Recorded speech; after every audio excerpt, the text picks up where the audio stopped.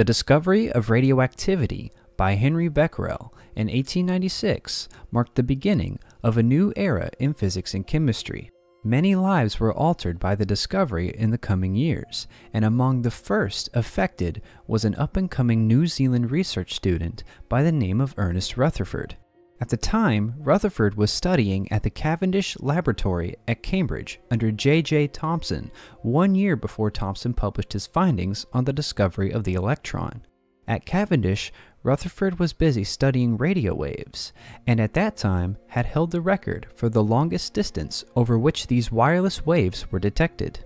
However, upon hearing the news of this new form of radiation, Rutherford quickly turned his attention towards uncovering its nature. From 1896 until his departure from Cavendish two years later, Rutherford devoted his time to the newly budding field and quickly found it to be very rewarding. Rutherford's first successful experiment in radiation was actually rather simple and was set up as follows. A sliver of uranium was placed in between two electrical plates. One plate was charged by a battery, while the other remained uncharged and was attached to what is called an electrometer, which is a device used to measure electrical potential difference and electrical current. The radiation of uranium ionizes the gases around it, creating positively and negatively charged gas ions. The negatively charged ions move towards the charged plate, and the positively charged ions move away from the charged plate.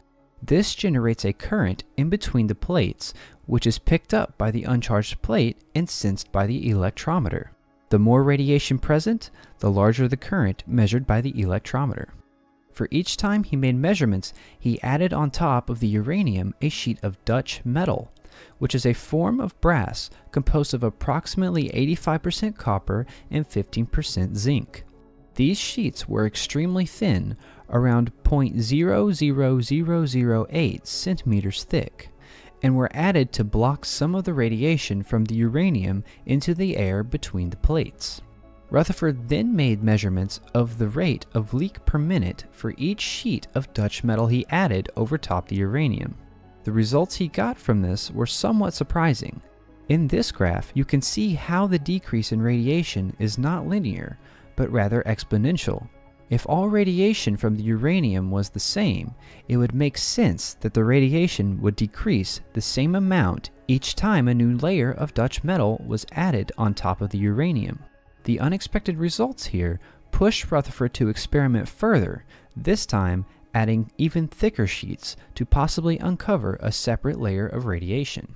Rutherford switched to 0.0005 centimeter thick aluminum sheets. This expectedly did a much better job at blocking the radiation, but it only did so for the first few layers added.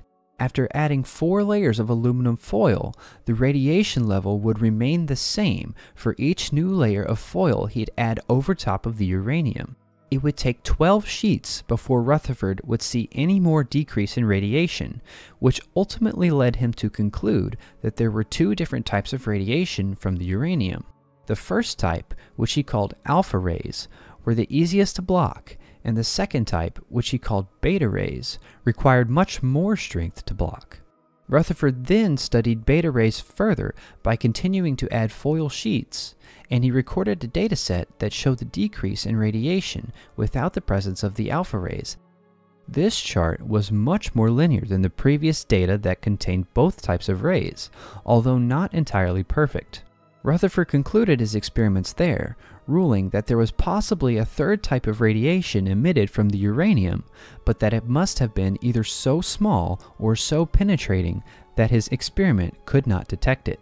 This third type would be confirmed a few years later in 1903 and would be labeled as gamma rays, the most penetrating form of radiation. After his discovery of alpha and beta particles, Rutherford moved to McGill University in Montreal, Canada, and teamed up with a McGill chemist, Frederick Soddy, to further work on radioactivity. During the years of 1902 and 1903, they made another significant breakthrough. Their experiment used a similar setup to that of the one that detected alpha and beta rays, but instead of measuring uranium, it measured an isotope of radon called thoron. While studying thoron, they noticed an interesting trend that after identical increments of time, the amount of radiation detected by the thoron at a specific step would be half of what it was at the previous step in time.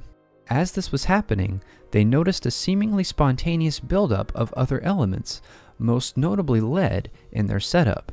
From these discoveries, they concluded that over time, radioactive elements must decay into other elements and introduced the concept of half-lives to the scientific community. Rutherford and Soddy both exploded into scientific fame after these discoveries, sparking debate and controversy over the nature of these results and their implications. Almost immediately after the discovery of radioactive decay, a quest to calculate the true age of the Earth based on half lives was ignited and would make significant leaps in the coming decades. Both Rutherford and Soddy were just getting started, too.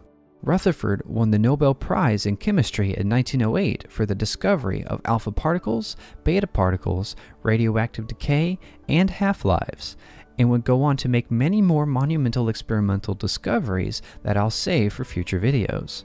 Soddy, although not being credited in the 1908 prize, would later get a Nobel Prize of his own in 1921 for discovering isotopes, another topic I will also cover in the future. Rutherford and Soddy's pioneering work in these areas set the wheels in motion for a new era of nuclear physics, opening up an entirely new can of worms and just scratching the surface on what was possible with the elements based on the newly discovered phenomenon of radioactivity. If you enjoyed this video, please consider liking and subscribing. Click here if you want to see more scientific progress made during this time period. Thank you for watching, and I will see you in the next video.